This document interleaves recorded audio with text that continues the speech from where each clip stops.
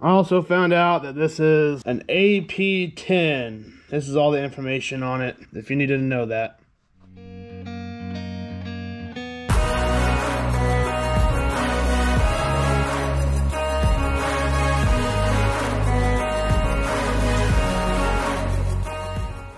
Hey guys, welcome back. So today in the shop on the channel, we are going to be tearing into a Ryobi 10 inch planer. Now a little bit of backstory on this planer. It was once my granddad's planer and it is a little bit newer model.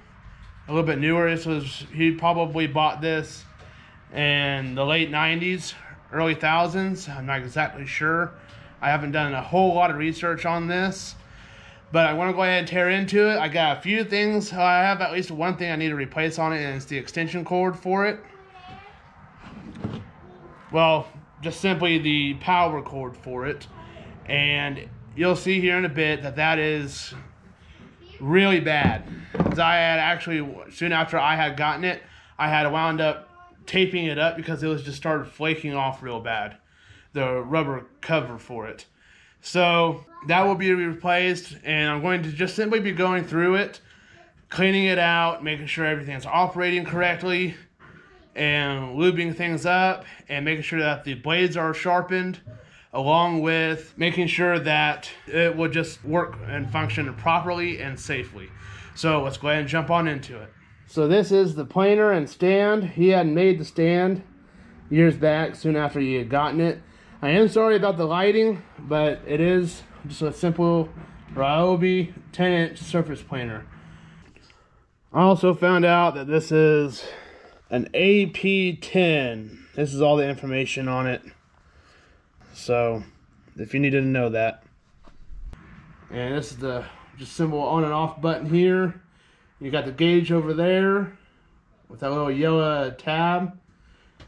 The crank for it is here on the side. It even has its own handle, carry handle. And I believe over here is just simply the leveling system for it. Whenever you go to crank it, I think there might be a chain or something behind that cover there. But we'll see. And I've got a bunch of stuff inside there that uh, bolt, main bolt to carry it up and down on this side. As you can see there and same over there. So I, I guess there's not a chain on that side.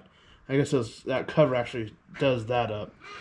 But I've got to figure out the power because it just simply goes into the back there. And I was looking at this before started recording and I could not figure out how to get that popped open. So I want to do some trial and error to figure out how to take that off. So I want to go ahead and get the camera set up and go ahead and try to get this to where it's got a little bit better lighting for you. I want to go ahead and get this thing a quick blow off and start taking stuff apart. Alright, so I'm going to go ahead and take off this top. That way I can at least get the top of this exposed and be able to work with this a little bit better. And this is just simply Phillips heads screws. There's four of them on each side. All right. Okay.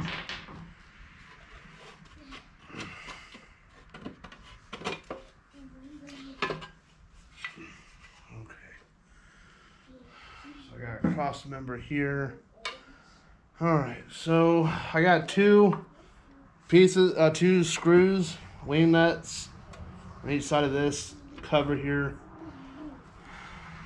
Let's see if I can pull if if I pull this off. Let's see what it would do for me for this. Probably not a whole lot, if anything. Alright, so I got the screws off. That came off fairly well. Here's the blades right here. They don't look bad at all, really. Probably need to buff it up, buff them up a little bit with some sandpaper. Probably not bad after that. I'm still not understanding how this is this cover is supposed to come off yet. And I am going to go ahead and unhook it here.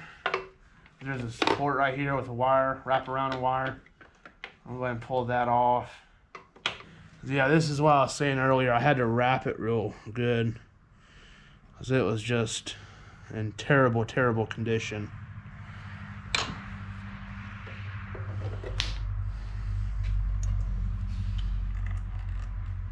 I'll have to figure out how to take this off after a bit. But yeah, I see, uh, well, maybe not. Right here, you can see how it's just peeling back. And that tape, yeah, it took all the way from that joint all the way down using black tape. Um, go ahead and, as I'm going, I'm kind of trying to kind of clean and spray stuff using the old PB blaster. Um, all right. Now, to replace these blades, just looks like a bunch of bolts across the top there. see if I can see those bolts. There's a bunch of them across there to be able to replace them. Now, how does this come off? All right, well, I'm going to shut the camera off for now. That way you're just not watching me walk around this daggone thing trying to figure this out. Uh, so I'm going to shut off, and once I figure this out, I'll turn it back on and show you how I did, how it came off. All right, so I've been sitting here fighting this thing, trying to figure out how to take it off. So I'm gonna go ahead and do is go ahead and take these sides off and basically completely dismember this daggum thing because I just just take it take it completely in parts. That way I can go ahead and get it apart and on the workbench and just spread out and go ahead and uh, get all that figured out. Now for these sides here, there's two bolts at the top here and this side I've already taken off. And there's four more down here, down below. And uh, at least four more. Yeah. Get here. This one right here. That one there. Skip those two because that's the main bar going up. That one right there, and then that corner on that side. And it's the same thing on this side. Except you've got the crank on this side. So this is going to be a little bit different. Still has the same Allen in it. So I think what you can do is just simply brace the crank and turn the uh, that center bolt and that should go ahead and come on loose and then they should go ahead and come on apart. Once I get to that point, I'll show you guys. Okay, so one thing you need to watch out for while taking these side panels off, these guys. There's one per side and they go right up here on this face with that little flange. See that flange right there? That goes on the top, just like that, on this face. Be, I was racking my head, trying to figure out where this thing goes, because it just fell out whenever I took this side, and I just so happened to see where the other one on the other side fell off from, so that kind of figured that out. Now, this side, you have your chains. coming on, I'm presuming that this top one here is your belt of your motor, electric motor. And these are, this is a electric motor. This one here, I'm presuming is one of the rollers. Yeah. So one of your push rollers. Oh, pull, I guess, pull rollers. So if you need to change out your the chains, this would be the side, the side with the crank. The side with the crank is the side that you need to take off to replace these belts. Oh, these these chains and they do have masters master links in them. So that is a good plus a uh, good thing. That is a big plus. The other side is where your belt's at. Your drive belt for your ah there we go. Drive belt for your uh, actual blades blades here. So I'm still trying to figure out how to replace the cable here. This here is a cover. It's a plastic cover. It's got it's got a seam across here, and actually has a open spot right there, just big enough for a flathead screwdriver. I tried it a little bit ago, and nothing was working. So I, all, I, all it would do is just pry up. So I'm still trying to get that figured out. But while I got this all apart, I'm gonna go ahead and do some cleaning on it. Go ahead and start lubing up some stuff and go from there. Oh, hey, I just noticed. Those little silver pieces, it's fine, hun. Those little silver pieces, I just noticed there's two more on this back side. So it's actually two per panel. So look out for those so they don't so you don't lose them. It looks like they had some kind of like grease or something on there to help keep them in place, which wouldn't isn't a bad idea. So look out for these when you're replacing them. So I want to go ahead, like I said, I want to go ahead and start cleaning this up and trying to figure out how to replace this cable. That's my main thing because everything else is good. So far, everything else is good. I just got to clean up the blades, sand them down, get the rust off of them, and clean all this out and get it lubed up. And it, it's good after that. I mean, except for the cable. So, as soon as I figure that out, I'll let you know. All right, so I've been doing a little bit of looking. And actually, my wife was able to pull up an owner's manu manual for this online. It did a little bit of good, but not a whole lot. It did does have in that manual. It does have a breakdown for this uh, for the AP10 uh, planer, and it did show uh, how at least how these mo this motor mounts on there, which will give me the chance to be able to take it off. So let me show you real quick. Now, as I did, as I've already shown you about the chains, does have Master Link on it and everything. You will have to take this top chain off. And you will have to take this belt, uh, the main drive belt off. I don't know if it'll be any easier for you to take this cover off or not. I'll find out. I'm sure it probably will be. But I probably end up having to take that off and take that belt off to be able to get this motor off. Now, those mounting bolts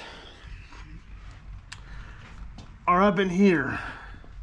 Nice. Up underneath there. So we got two on that side, two on that side. Definitely have to take those bolts out and take it off from that way. So I'm gonna go ahead and break them loose and get them out. Okay, so as I was dealing with this chain, trying to get it loose, you will, for this top uh, chain to get this master link out, you'll actually have to move the blades. Be careful, they may, uh, probably are sharp. You'll have to spin them towards you. Back from back here, spinning towards you. Ow, like that. Don't do what I just did. Okay. Ow. Nope, I ain't bleeding. Okay. Uh, and it will move these chains. You move it towards you, it will ever so slightly rotate it down. Only spot that I could find that you can actually pull that link out is right back in here. Where the blades come in on the other side, the roll, the blade rollers, that's the only place that you'll be should be able to get the link out. But like I said, be careful rotating that. Probably best use gloves. All right, I'll be back in a sec. All right, so it is just those four bolts here, those machine screws, and you do, like I said, you do have to take the main drive belt off and I went ahead and took both chains off because it just made it a lot easier. You have to, whenever you take it out, you have to, whenever you pick it up, you have to rock it up to get this side out and then just slide it out that way to be able to get make this side the gear to clear. Make sure, make sure that that clears. So if you have it oh if you have it low enough you can pull it out that way. But since we had it up so high and the handles off we had to fish the cable through. Here it is here. It is awfully dirty. From just from what i could tell i got the two screws on this side take off and i don't know what else. Uh but those those two screws definitely have to come out. And those are phillips head there. And i'll just see what happens after that. So yes there it does it is those two screws. And this does just simply slide out. You will have to watch out for that gear there. But it does just slide right off. Now caution as i just heard it as i was moving this motor around. There's a little tiny piece hold on right here right there that comes out right above your mounting screw you've actually got two i just noticed you have one on this side and one on that side. I got really lucky I didn't lose that one for sure. This one here, oh, actually either one of them. I'm lucky I didn't lose any either one of them. But those things, you've got to look out for them. So, uh, that flange there comes out on the motor. This flange here, now it's on there kind of like that. It's a shield mainly for all the electrical components in here. Now we can get to the cable. Down in here, two screws there. You gotta do those two. You can take these. These are basically screw-on caps, retaining caps for that, or for the switch. Think of these as toggle switches. You know how the toggle switches have those little rings that go on the out the face of what you're mounting the toggle switch to? That's what these are. So you just simply unscrew the, these from the face and it just simply slides right on out and that gives you the direct access to the side that you need to be able to replace it so so that's how you get to this point. and these are o-ringed end connections that's since we figured this out finally uh we can uh you can now once you get that just changed out and cleaned out, you might as well clean this, the motor off while you got this open. Since now we got this figured out and you can change it out, now all you have to do is put it back together in reverse order. All right, so to solve the grounding issue, the equipment grounding, I went ahead and in this plastic cover, drilled an oversized hole through the plastic and it should be back far enough to where it won't mess with the switch and high enough to where it shouldn't be on the motor. And just for the sake of it, instead of putting in this bottom one like it wants to, I'm going to go ahead and run it up to the top just to help eliminate the chance of it rubbing up onto the motor. Just for those who want to deal with that, you can. This is just what I did. You might be able to do it differently, but this is just what I did. All right, so got her together, new cable, everything came back together pretty good. Cleaned her out real good, and well, I didn't see anything major while I was looking at everything. Uh, probably could have gotten away with changing the chain on it and the belt, but they all, both, all three of them, actually looked pretty daggone good the belt, the the belt, I probably definitely should have, but I'm gonna run it until it does break and go from there. I'm not terribly concerned about it. And there wasn't any obvious dry rot on it, so it wasn't terribly concerning. And it was still pretty pliable. I got her plugged in already, so I'm gonna go ahead and fire her up.